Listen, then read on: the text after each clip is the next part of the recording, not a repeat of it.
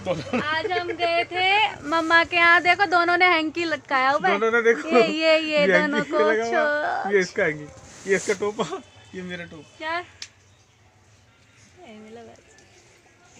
और तो परसों जब से वो न्यूज़ सुनी है ना सच में बहुत इतने डरे हुए ना। देखो ये भी मैं भी अभी मम्मी के यहाँ से आ रही हूँ मतलब गौरी की दादी। इसी टॉपिक पे बात सी पूरे घर में इसी टॉपिक पे बात तन्नू से भी कि कब बोलना तो पता है इतना चाहते हैं इतना चाहते हैं इतना चाहते हैं। अभी मम्मी से भी बात हो रही थी ना मम्मी ने यही बोला कि उनको सजा मिलनी मम्मी मतलब आप लोगों ने मेरी पुरानी वीडियो में मम्मी को देखा होगा अभी तबीयत ठीक नहीं थी तो मैं मैंने वीडियो नहीं बनाई। मम्मी ये बोल रही थी कि जैसे उस लड़की को जला के मारा गया है ना वैसे ही उन लड़कों का एक एक पार्ट काट करके पहले एक एक पार्ट काटो और फिर उसी तरीके से उनको जलाओ।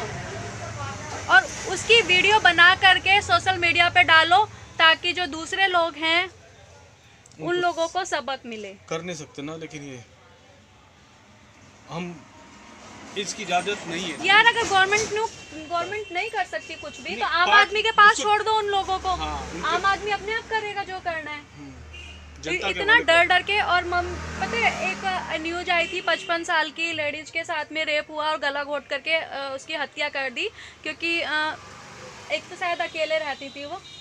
मतलब यही नहीं कि बच्चों के लिए नहीं, हम लोग, बच्चे, बुज़ुर्ग, आजकल ना सबको इतना खतरा हो गया है और इतना डर बैठ गया है ना मन में। मैं सच बताऊँ तो पता है मेरे मन से क्या निकला था? परसों कितना रोई थी मैं। रात को पूरी रात में बैठ करके रोई हूँ कि भगवान ने मुझे ये दी है, बहुत अच्छा है, उनका धन्यवाद है, लेकिन ऐसे माहौल में क्यों दी? उससे अच्छा तो हम पहले थे। तो तो नहीं पहले हमें डर नहीं था, तन्नू बड़ी थी, हम लोग फिर भी तन्नू को लेकिन यार आजकल छोटा, बड़ा, किसी की भी सेफ्टी नहीं है, किसी की भी नहीं है। इतना इतना डर रहता है ना हर चीज़ में। अब किसी को देने में भी डर लगता है। कोई माँगता भी ना तो नहीं नहीं देना है। मतलब कैसा माहौल हो चुका है कि हम लोग किसी पर ट्रस्ट भी नहीं कर सकते हैं। डर डर डर डर चारों तरफ़ डर डर। पता नहीं पूरी ज़िंदगी अब डर ही रहेगा। कहाँ सेफ़ है यार? मन करता है कहीं लेकर के भाग जाओ। इंडिया की सरकार कुछ नहीं कर सकती बेटियों के लिए कुछ भी नहीं कर सकती। धिक्कार है इंडिया की सरकार पे भारत की सरकार पे धिक्कार है। कुछ मतलब इतना डर यार अपने घर में हम लोग डर के रह रहे हैं अपने देश में हम लोग डर के रह रहे हैं अपने शहर में हम लोग डर के रह रहे हैं और कहाँ और कहाँ सेफ़ है? गवर्नमेंट से खैर हम लोग छोटे यूट्यूबर हमारी वीडियो कहाँ देखती है? लेकिन कहते हैं ना एक मन की भड़ास निकालनी होती है। कोई एक ऐसी जगह बता दो कि क्या?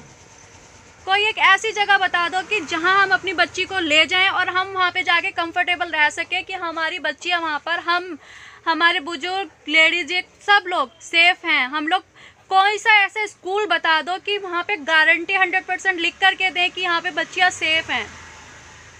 हाँ नोनू? जितना बोलो उतना कम है जितना सच में उस दिन से में भी तो आया है। क्या? कल का अखबार में स्कूल का भी आया है। तो स्कूल में तीन तो- साल की बच्ची का ढाई साल की पता नहीं ऐसे कुछ था तीन साल की बच्ची। बहुत आते हैं यार। न्यूज़ पेपर डेली भरा रहता है। बोल ये सब कानून ऐसे को ना इतना मारना चाहिए ना साढ़े तीन महीने की बच्ची के साथ। मैं न्यूज़पेपर पढ़ती हूँ ना मेरे रोंगटे खड़े हो जाते हैं। मैं ये चीज़ शेयर करना भी नहीं चाहती थी लेकिन जब हद हो जाती है ना अति हो जाती है ना तो मन करता है कि आप लोग अपने यहाँ शेयर करो। साढ़े तीन महीने की बच्ची नौ महीने की बच्ची इवन एक केस ऐसा है जो मैं कभी याद भी करती हूँ मेरे रोंगटे खड़े होते हैं हॉस्पिटल में एक दिन की बच्ची के साथ में। क्या क्या कि, कितनी हैवानियत है यार लोगों में। सच में मिल जाए ना नोनू पकड़ पकड़ के पकड़ पकड़ के ना उनको। जिन जलाना नहीं है ज- तड़पाओ ज़िंदा मत जलाओ मत। वही तो मम्मी बोल सारी ज़िंदगी ज़िंदा ज़िंदा रखो लेकिन तड़पा के। तब उनको पता लगेगा कि जिसको मारा है वो कैसे तड़पी होगी। उसके घर वाले क्या सारी ज़िंदगी तड़पेंगे बेचारे? सोचो जिसके ऊपर बीत रही है। उसके रेड्डी के उसके डॉक्टर के माँ बाप के, के ऊपर क्या बीत रही वही वो मम्मी ऐसे रोने को हो रही थी यार अभी। मतलब हम लोग सोच सोच के हमारे रोंगटे ऐसे खड़े हैं अ, सोच सोच के हम लोग डर रहे हैं और जिनके ऊपर बीता है और जिस लड़की के साथ में ये हुआ है क्या क्या कैसी ज़िंदगी हम लोग जी रहे हैं यार? क्या क्या पैसा किस चीज़ का पैसा कैसी साइंस कैसे गवर्नमेंट क्या? अभी कुछ हो जाए ना सरकार में अभी कुछ हो जाए ना कहीं पर भी तुरंत भागेंगे तुरंत के तुरंत, लेकिन यहाँ पे अभी भी एक भी बंदा ऐसा नहीं खड़ा।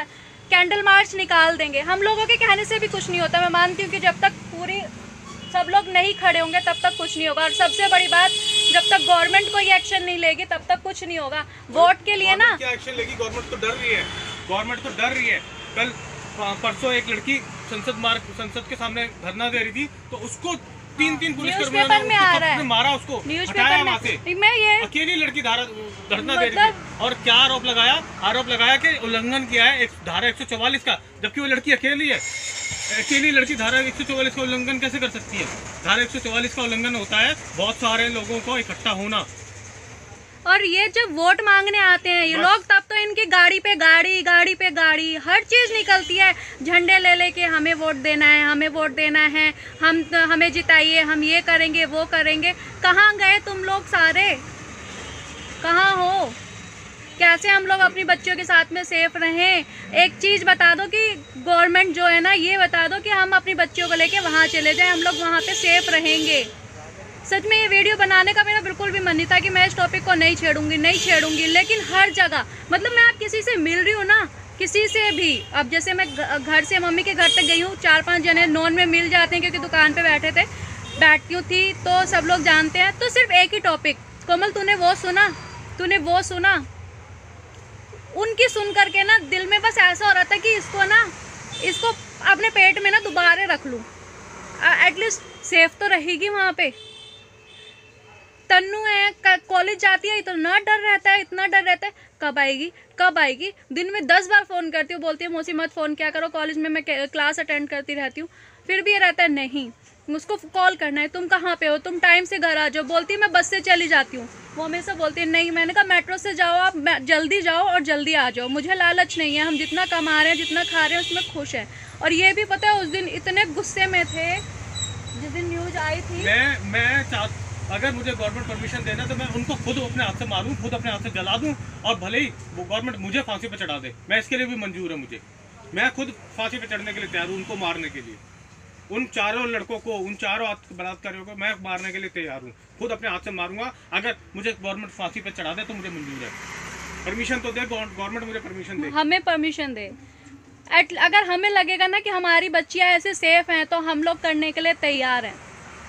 लेकिन कौन सुनेगा हमारी यहाँ पे दस दो चार लोग सुनेंगे? छुट्टी बस हम लोग अपनी गवर्नमेंट ही कुछ नहीं करने वाली गवर्नमेंट ही कुछ नहीं करने वाली। कानून बनाने वाले कुछ नहीं कानून बनाएँगे। उनको कानून बनाना हो ना संसद में कानून बनाना भैया ये जो एमएलए होते हैं उनके लिए ये खर्चा बढ़ाना है या भैया उनकी गाड़ियों का खर्चा देना है। फटाफट सारे एमएलए एक कानून बन जाएगा।